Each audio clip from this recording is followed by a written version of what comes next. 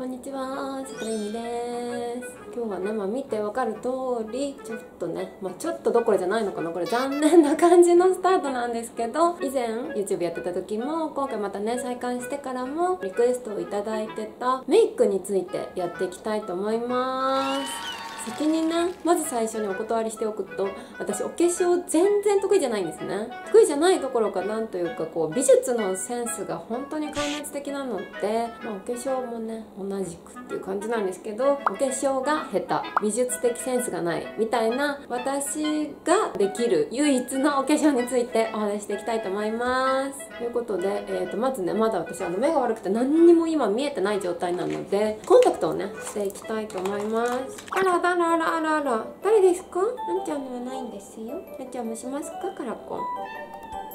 んちゃんはお目目青いじゃん。こっちおいでよ失礼します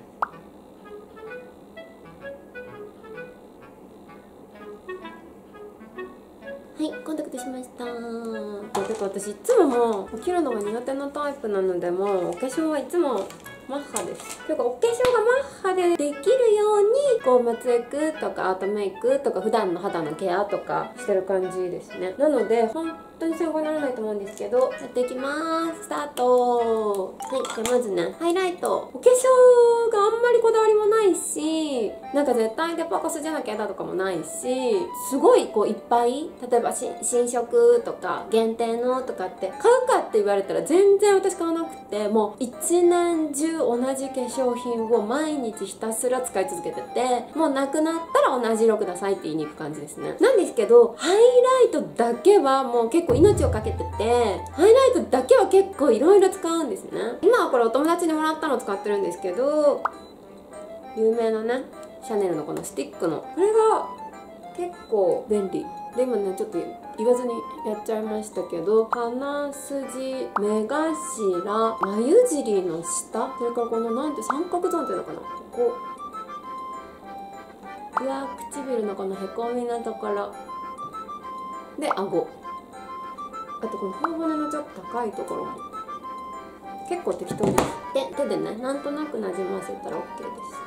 す。でももうお気づきかと思いますが私ベースメイクしないんですね。なんか下地も塗らないしファンデーションもしないしみたいな。もうずっと昔から。もうなぜかって言ったらなんか不器用だからうまく塗れないのと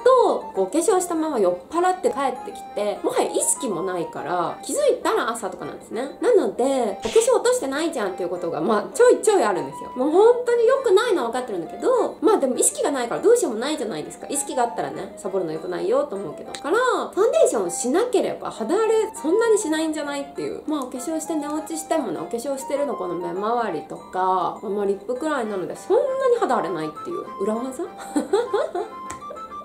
ズボラすぎて裏技になってるみたいな。でアイシャドウがアディクション使ってます。もうどんくらい使ってるんだろう？8年くらい。同じ色一生使ってますね。ちょっともうなんか底見えもいいとこなんですけど細かいラメのちょっとこうイエローっぽいゴールドと大きめのねグリッターっぽいラメのゴールドでもう本当に全然ないでしょって感じなんですけど最近ほとんどね使ってないから変えてないんですけど一応ブラウンのね締め色を持っててこのピンクは涙袋に使ってます。この細かいラメの方のゴールドをアイフォール全体にとりあえず塗りましてで反対も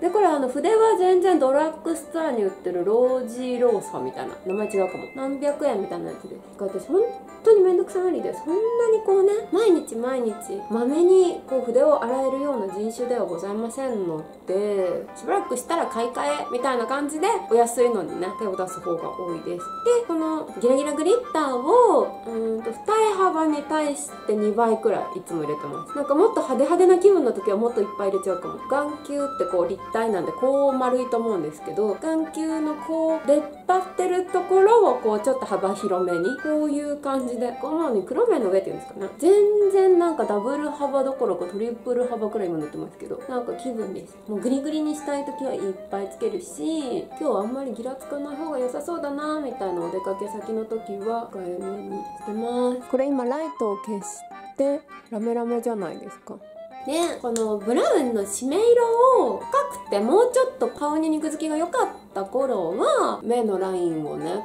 囲うような感じでまあ垂れ目にしたかったらちょっと下側にね向けたりして使ってたんですけど残念なことに痩せすぎてしまった結果なんか締め色を使うともっと顔が痩せて見えてしまう気がして最近は使ってないのでゴールドの2色をグラデーションみたいにしてます。で次がこのピンク。ピンクで涙袋をなぞっていきます。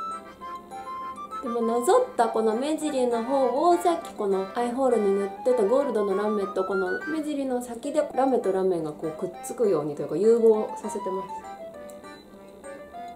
これなんかちっちゃいアイブロウとかについてくるちっちゃい筆で。サイズがちょうどいいので塗ってます。OK そして涙袋がまた日にもよるんですけど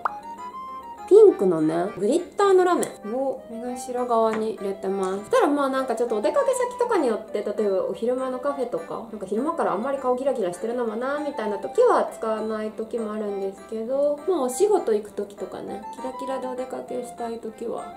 必須ですね。さっきのピンクのアイシャドウとねピンク感は近いんですけどこれ入れると濡れ感が出て可愛いなっていう。なんか本当はこれじゃなくてお気に入りのが韓国コスメであったんですけど韓国ねコロナ禍で行けなくなっちゃってから手に入らなくてこれを買いましたはい、涙袋はこんな感じです。で次眉毛。眉毛はドラッグストアで適当に買えるアイブロウ。割と私何でもいいんですけど。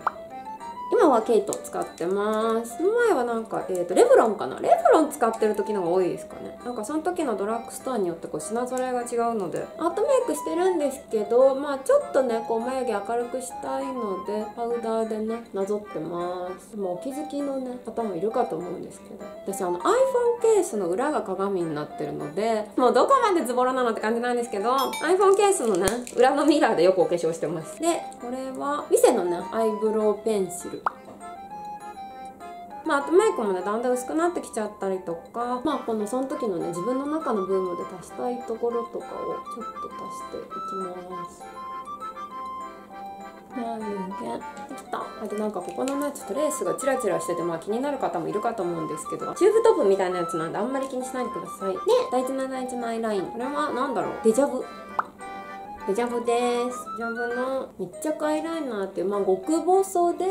こういう筆のタイプが好きです。でまあ松役なのでとりあえずそのがっつり引くっていうよりはまつげとまつげの隙間を埋めるくらいであと目尻。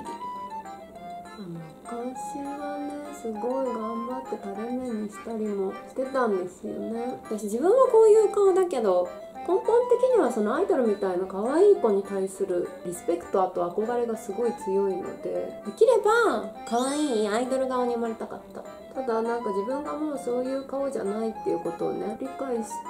無駄に抵抗するのは諦めました。でも私ちょっとなこの左右の二重の幅だけじゃなくても顔全部左右みんな違うんですけどその中でもね二重幅の左右差がちょっとあるのでこっちはね広いので広い方をアイライン太めにちょっと引いてこう見える二重幅のね幅をね同じくらいになるように調整してます。こうやって見るとこっちだけなアイラインめっちゃ太く見える気がします。あんまりね弾き方が綺麗じゃなくてね申し訳ないんですけどこれが私の限界値です。次ハイライト。あさっきもハイライトしたよね。そうなんですよ。ハイライトダブル使いはマストで私の中で。本当にお化粧苦手だし何にも上手じゃないんだけどハイライトだけは一応気にしたくて。ゲラン。ゲランのただこれ限定だ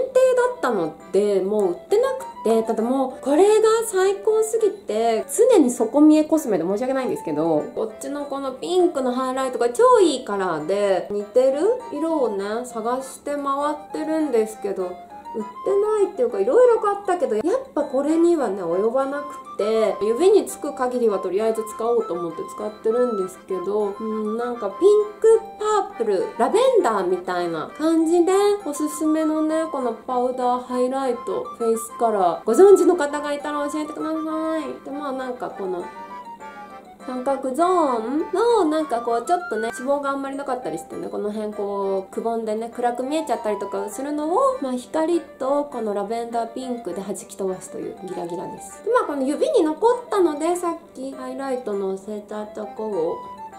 ちょっとなぞっとく特にこれ意味はないんですけど。なんとなくなぞってます。あれ？おしまいなんじゃないのこれ。ということでおしまいでございます。でリップをねあの口紅とかする前に私唇がすごい荒れやすくってあんまり口紅得意じゃないので。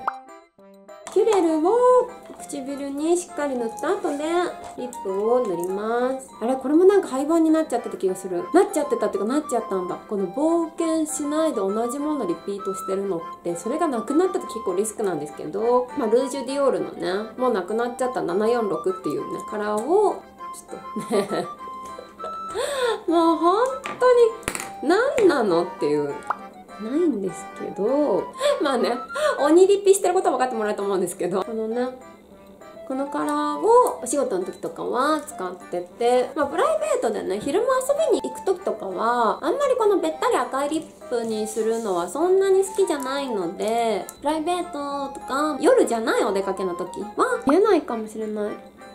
エレガンスのルクイドルージュ美女すごいお気に入り。なんかこれ色がすごい落ちづらくてなんか柔らかいピンクで。す落ちづらくてしかも唇が荒れないんですよね。てか荒れないのが一番大事。なんかねもともと唇丈夫な方はいいかと思うんですけどいくら綺麗な色のリップ塗ったところで唇がね荒れちゃってたらねもうなんかこの上なく残念だと思うので荒れないこのエレガンスめっちゃ好き。散々ねシャネルだディオールだとかサンローランランだとかね外資のブランドに憧れていろいろ買ってきましたけど最近になって気づいたのは結局国産メーカーの方がいいのかなっていう。いやテンションが上がるのは外資なんですよもちろん。だけど結局なんか日本人の肌とかにね合うのはなんか国産メーカーの方が調子いいんじゃないかなみたいには思ってます。リップはこんな感じで。だから意外とツヤツヤにもなるしギラギラじゃないモテそうなピンクって感じ。なんか私とはね、モテなんて無縁のワードですけど。ということで、完成ですどうですか？顔変わった？変わったよね？多分一応これが私の毎日メイクです。まあ今日はね話しながらやったのであれなんですけどもうなんか5分で終わりますこれ。急いでやってたら。まあでもなんかお化粧苦手だしあんまりねこういろいろ使いこなしたりとか上手にできるタイプでもないのでもう固定のスタメンだけを酷使しながら常に底見えで生きていく感じですね。まあでもいつかねせっかくね YouTube 再開したしお化粧ね新しいの買ってきて挑戦とかもしてみたいんですけど、まあ、顔面がね盛大に事故る可能性があるのでちょっと要相談ということですね。なんかボツになりそう。ということで最後までね見てくださった方ありがとうございました。参考になるのかならないのかちょっと怪しいところではありますが私の最速5分メイクおしまいです。またね毎週金曜日19時に動画アップしてます。チャンネル登録そしてコメントグッドボタンしてくれたらねあの私と編集してる妹がねすごく喜ぶので、ぜひね、よろしくお願いします。願いします。バイバーイ。